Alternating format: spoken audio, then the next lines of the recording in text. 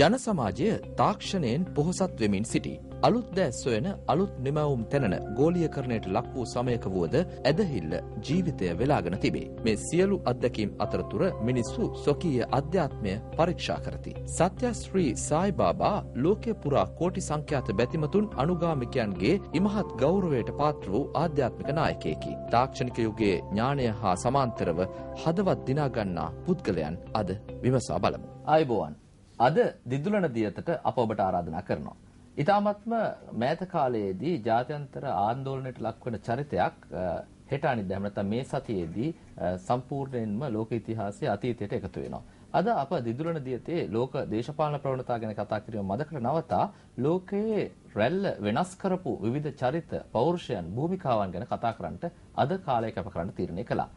ලෝකයෙන් සමුගන්නා සායිබාබා තුමා ගැන හා සමානවම ඒ වගේ ලෝකෙට අලුත් දේවල් එකතු කරපු එහෙම නැත්නම් ලෝක ප්‍රවණතාවයේ එහා මෙහා කරන්නට සමන්විත වෙච්ච පෞරුෂයන් පිළිබඳව කතා කිරීමේදී මේ අලුත් සියවස තාක්ෂණයට විද්‍යාවට බර වෙච්ච යුගයකදී කොහොමද පෞරුෂයන් මෙය නැවත උඩුගම් බලා හරවන්නට මහන්සි වන්නේ එහෙම නැත්නම් කොහොමද ජන ඒකරාශීත්වය ඔවුන්ට එකතු වන්නේ කියලායි අද අපි සොයා බලන්න බලාපොරොත්තු වෙන්නේ මේ සඳහා ආරාධනා කළා මේ විෂය ප්‍රාමාණිකයෙකු වන මිලින්ද මොරගොඩ මහත්මයාට සුපුරුදු පරිදි දිදුලන දියතට එකතු වන්න කියලා ඔබතුමා බොහොම ගෞරවයෙන් පිළිගන්නවා දිදුලන දියත වැඩසටහනට.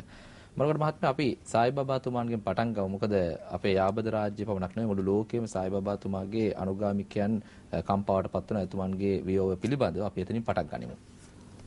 දැන් සායිබාබාතුමා දිහා බලනකොට කියන්නේ ලෝකේ නැගෙනහිර ලෝකේ විතරක් නෙමෙයි බටහිර ලෝකේ උගාක් ජීවිතවලට කිට්ටු වුණ චරිතයක් තමයි සායිබාබාතුමා.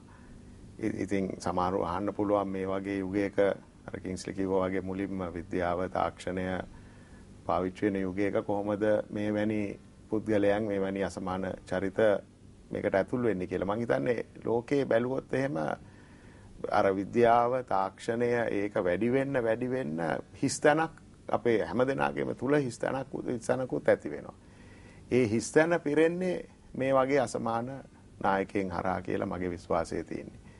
ඉතින් මේ මොහොතේ අපි මේක ගැන සාකච්ඡා කරනකොටත් අපි මේ සයිබබාතුමාගේ කියන්නේ මේ ලෝකෙට කරපු සේවය ගැන කතා කරනකොටත් මොකද එතුමා එක එක පැති වලින් සේවය කරලා තියෙනවා පැහැදිලිව කියන්නේ ආගමික පැත්තකින් නායකයෙක් හැටියට අපි හැම දෙනාගේම මේ පිළිගත නායකයෙක් හැටියට එක පැත්තක්. අනිත් පැත්තෙන් සේවයක් කරලා තියෙනවා. ඒ කියන්නේ පළාතේ පුතපති ප්‍රදේශයේ බැලුවොත් එහෙම සම්පූර්ණයෙන්ම වෙනස් කරුවා. ඒ දුප්පත් පළාතක් ඉන්දියාවේ